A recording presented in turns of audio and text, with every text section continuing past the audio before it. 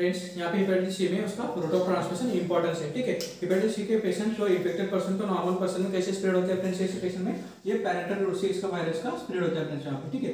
Parental route से यहाँ पे स्प्रेड होता है हेपेटाइटिस सी का। फ्रेंड्स यहाँ पे पैरेंटल रूट से जो होता है ना इन्फेक्टेड कई बार इन्फेक्टेड ब्लड प्रोडक्ट की वजह से, या फिर क्या होता है, कई बार कैसे अनस्टेराइल जो ब्लड निडल वगैरह है, इससे भी फ्रेंड्स कई बार ये पैरेंटल रूट से इन्फेक्शन स्प्रेड होता है फ्रेंड्स वहाँ पे, ठीक है? इसके साथ साथ ब्लड ट्रांसफ्यूजन थ्रू या फिर हीमोडायलिसिस थ्रू भी ये इन्फेक्शन स्प्रेड होता है फ्रेंड्स वहाँ पे, ठीक है? फ्रेंड्स ये ब्लड ट्रांसफ्यूजन थ्रू अगर कैसे होता है, वहाँ पे क्या होता है फ्रेंड्स यहाँ पे इंक्यूबेशन पीरियड जो है ना हेपेटाइटिस सी का incubation period twenty two twenty five weeks है। मतलब इसका इंक्यूबेशन पीरियड ज़्यादा है। इसलिए क्या होता है फिर फ्रेंड्स कई बार पेशेंट जो होते हैं हेपेटाइटिस सी के, कई बार विंडो पीरियड में रहते हैं। मतलब पेशेंट को भी उसके सिम्टम्स वगैरह नहीं दिखाई देते फ्रेंड्स पेशेंट को, ठीक है? इसलिए पेशेंट को भी कई बार ये पता नहीं रहता कि उसको हेपेटाइटिस सी वगैरह है। इसलिए ऐसे पेशेंट क्या होता है फ्रेंड्स ये कई बार ये इन्फेक्टेड पर्सन नॉर्मल पर्सन में फिर हो सकता है ये पैरेंटल रूट से फ्रेंड्स वहाँ पे, ठीक है? जैसे में क्या होता है फ्रेंड्स समझो ब्लड ट्रांसफ्यूजन वगैरह पेशेंट कर रहा है पेशेंट को समझो विंडो पीरियड में है पेशेंट कैसे हेपेटाइटिस के विंडो पीरियड में और ये ब्लड ट्रांसफ्यूजन वगैरह कर रहा है। वहाँ पर ब्लड ट्रांसफ्यूजन वगैरह है तो फ्रेंड्स कई बार क्या होता है? एसीवी टेस्ट वगैरह जो करते हैं एसीवी टेस्ट में वगैरह एंटीबॉडी जो टेस्टिंग करते हैं हम लोग, वहाँ पे एंटीबॉडी फॉर्मेशन वगैरह कई बार वहाँ पे नहीं हुआ रहता है। इसलिए ऐसे पेशेंट क्या होता है फ्रेंड्स ये? कई बार ये टेस्टिंग में नेगेटिव वगैरह आने की वजह से ऐसे पेशेंट जो दूसरे पेशेंट स्प्रेड हो सकते थे फ्रेंड्स ठीक है? ये ब्लड ब्लड ट्रांसफ्यूजन या फिर हीमोडायलिसिस थ्रू वगैरह, वहाँ पे ऐसे हीमोडायलिसिस थ्रू भी कैसे फ्रेंड्स वहाँ पे ये कई बार ये विंडो पीरियड में रहने की वजह से पेशेंट वहाँ पे जो अनस्टेराइल नीडल है या फिर अनस्टेराइल वहाँ पे कुछ इक्विपमेंट्स वगैरह है उससे फ्रेंड्स कैसे स्प्रेड हो सकता था, ठीक है हो सकते हैं।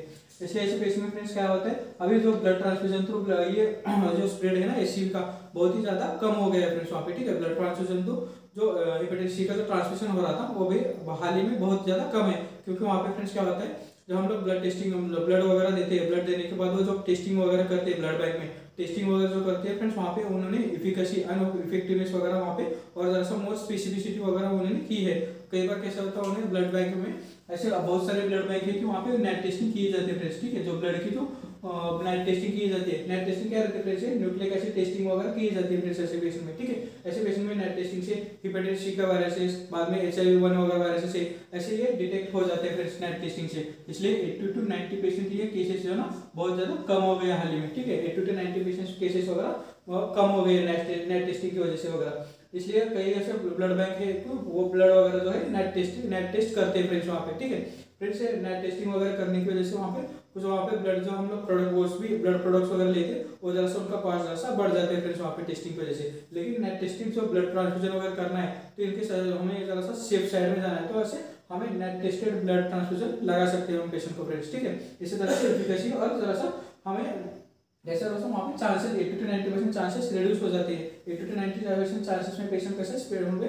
नेट टेस्ट वगैरह किए तो पॉजिटिव आ सकते हैं विंडो पीरियड में भी वगैरह पेशेंट आ तो ठीक है? इसलिए ऐसे नेट टेस्टेड ब्लड ट्रांसफ्यूजन हम लोग लगा सकते हैं वहाँ पे, ठीक है? इसलिए जो ब्लड ट्रांसफ्यूजन वगैरह हाल ही में जो केसेस होते हैं ना केसेस बहुत ही ज़्यादा कम हो गए हैं एच ट्रांसफ्यूजन वगैरह ब्लड ट्रांसफ्यूजन से होना फ्रेंड्स ठीक है? हम लोग जरा सा हेपेटाइटिस के बारे में देख लेते हैं फ्रेंड्स पे, ठीक है? जैसे कि मैंने बताया कि friends it is associated with blood transfusion haemodialysis और ब्लड प्रोडक्ट्स ठीक है? And parental drug abuse out of blood transfusion is the most important cause जैसे हमने देखा कि फ्रेंड्स ये विंडो पीरियड बहुत ज़्यादा विंडो पीरियड में पेशेंट रहता है, इसलिए ब्लड ट्रांसफ्यूजन से भी ये स्प्रेड हो सकता था फ्रेंड्स ठीक है? अभी ये हाल ही में फ्रेंड्स नेट टेस्टिंग वगैरह की वजह से ब्लड बैंक के इफिकेसी की वजह से फ्रेंड्स यहाँ पे वो ये टेस्टिंग स्प्रेड वगैरह जैसा हाल ही में कम हो गया फ्रेंड्स वहाँ पे, ठीक है? हेपेटाइटिस सी वायरस जैसे हमने पहले देखा था hepatitis C is cause by hepatitis C virus hepatitis virus को और एक पता formally is non A non B type का हेपेटाइटिस रहता है, ठीक है? It is formally called as non A non B type लेकिन स्प्रेड कैसे होता है फ्रेंड्स हेपेटाइटिस सी वायरस के थ्रू ये हेपेटाइटिस होता है फ्रेंड्स पे ठीक है? उसका इंक्यूबेशन पीरियड कितना है friends two two twenty five weeks तक इनका इंक्यूबेशन पीरियड है, ठीक है? हेपेटाइटिस सी का इंक्यूबेशन कितना है two two twenty five weeks तक इसका इंक्यूबेशन पीरियड है वहाँ पे फ्रेंड्स ठीक है? जैसे हमने बोला था कि friends hepatitis B and hepatitis C जरा सा, ये मोर सीवियर फॉर्म है हमारे वायरल हेपेटाइटिस में। क्योंकि वहाँ पे फ्रेंड्स क्या होता है? मैक्सिमम पेशेंट क्या होता है? लिवर सिरोसिस में लैंड अप हो जाते हैं फ्रेंड्स वहाँ पे ठीक है? About twenty two thirty patient develop chronic hepatitis जैसे हमने देखा कि फ्रेंड्स ये क्रोनिक क्रोनिसिटी डेवलप हो जाता है वहाँ पे, ठीक है? Twenty two thirty percent develop chronic hepatitis और वहाँ पे friends twenty two thirty percent में से जो फिफ्टी परसेंट केसेस रहते हैं, उनमें लिवर सिरोसिस डेवलप होने के चांसेस रहते हैं, ठीक है? About 20 to 30 percent develop chronic hepatitis and 50 percent of which is a chronic active hepatitis which which would ultimately lead to cirrhosis of liver. मतलब ऐसे कुछ केसेस वगैरह है कि फ्रेंड्स हेपेटाइटिस सी के केसेस जो है, कुछ लिवर सर्जरीज में वगैरह लैंड अप हो सकते हैं वहाँ पे फ्रेंड्स ठीक है? इसलिए हमें जरा सा उस पर जरा अच्छी तरह से देख लेना पड़ता है वहाँ पे, ठीक है? हम लोग इन्वेस्टिगेशन के हिसाब से जाए तो फ्रेंड्स वहाँ पे एस टेस्ट करते हैं सबसे पहले, ठीक है? एस टेस्ट में क्या होता है फ्रेंड्स ये एस के एंटीबॉडीज देखे जाते हैं, ठीक है? एस में उसके एंटीबॉडीज देखे जाते हैं, ठीक है? बाद में फ्रेंड्स उसको इनके पॉजिटिव वगैरह आते हैं तो उसको वायरल लोड वगैरह करना है तो वहाँ पे हम लोग S C R N P C R करते हैं, ठीक है? इसमें वायरल लोड भी पता चलता है और वहाँ पे उसकी सीवियरिटी भी डिसीज की पता चलती है फ्रेंड्स वहाँ पे, ठीक है? इसलिए इन्वेस्टिगेशन में एस टेस्ट है S C R N P C R test हम लोग कर सकते हैं फ्रेंड्स वहाँ पे, ठीक है? इसका सबसे इंपॉर्टेंट पार्ट देख लेते हैं, इसकी, इसका ट्रीटमेंट पार्ट देख लेते हैं फ्रेंड्स वहाँ पे, ठीक है? फ्रेंड्स ये ट्रीटमेंट पार्ट में जो इंजेक्शन मैंने बताया कि फ्रेंड्स इंजेक्शन पेगास है मतलब क्या होता है फ्रेंड्स पेगाइलेटेड इंटरफेरॉन अल्फ़ा ठीक है? क्या है पेगाइलेटेड इंटरफेरॉन अल्फ़ा ये नया ड्रग है, ठीक है? हमें हमारे लिए नया ड्रग है। पेगाइलेटेड इंटरफेरॉन क्या करता है फ्रेंड्स ये alpha pegylated interferon alpha drug है, क्या करता है फ्रेंड्स ये? इंटरफेरॉन को ब्लॉक कर देता है और वायरल रेप्लिकेशन वगैरह नहीं होने देता, ठीक है? इसलिए पेगाइलेटेड इंटरफेरॉन ये ये एंटीवायरल ड्रग के साथ साथ कॉम्बिनेशन में यूज़ किया तो इसमें हेपेटाइटिस सी में अच्छा रिज़ल्ट दे सकते हैं वहाँ पे, ठीक है? जो इसमें, जो ब्रांड नेम है इनका पेगा ऐसा नाम से मिलता है। इसका 80 माइक्रोग्राम इंजेक्शन भी आता है 120 माइक्रोग्राम भी आता है और 180 माइक्रोग्राम भी इंजेक्शन आता है फ्रेंड्स वहाँ पे ठीक है? इंजेक्शन पेगा है, उसको बॉडी वेट के हिसाब से दिया जाता है, ठीक है? इंजेक्शन पेगा है 180 माइक्रोग्राम 0.5 एमएल का आता है। ये सब कुछ दिया जाता है फ्रेंड्स ये वीकली दिया जाता है, ठीक है? सब कुछ वीकली दिया जाता है।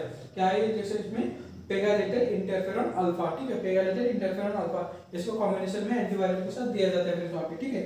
Together which is of tablet ribavirin मतलब क्या होता है फ्रेंड्स जो रेबेवेरिन जो एंटीवायरल ड्रग है ना 800 मिलीग्राम पर डे के हिसाब से हम लोग कुछ उसके आर्डर में इसके डोज के हिसाब से दे सकते हैं हम। वेट के हिसाब से डोज वगैरह एडजस्ट करके जैसे रेबेवेरिन 400 एमजी बीडी में दे सकते हैं फ्रेंड्स हम ठीक है? ये इसका दोनों को कॉम्बिनेशन में देना पड़ता है वहाँ पे। इन दोनों को कॉम्बिनेशन में अच्छा रिज़ल्ट आ जाता है फिर वहाँ पे, ठीक है?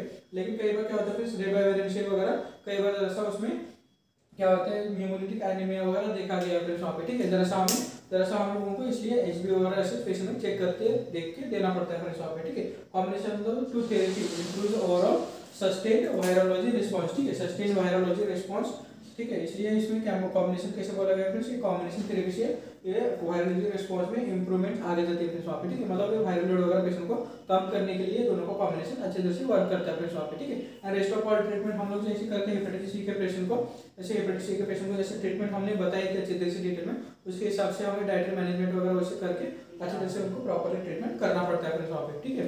इसलिए जरा सा पेगालेटिक इंटरफेरॉन अल्फ़ा वगैरह जरा सा ध्यान में रखना कि हेपेटाइटिस सी के पेशेंट में दिया जाता है वहाँ पे, ठीक है? जनरली जो पेगालिटिक इंटरफेरॉन अल्फ़ा वगैरह है फ्रेंड्स गैस्ट्रोएंटरोलॉजी उनके हिसाब से देख के देते हैं फ्रेंड्स वहाँ पे, ठीक है? हम लोगों को सिर्फ़ अच्छे तरह से ऐसे पेशेंट वगैरह प्रॉपर को ऐसे ही देखना है कि वो जरा सा लिवर सर्विस में वगैरह लैंडअप ना हो फ्रेंड्स वहाँ पे, ठीक है? इसलिए अच्छी तरह से उसके ट्रीटमेंट में भी अच्छी तरह से देख लेना, ठीक है?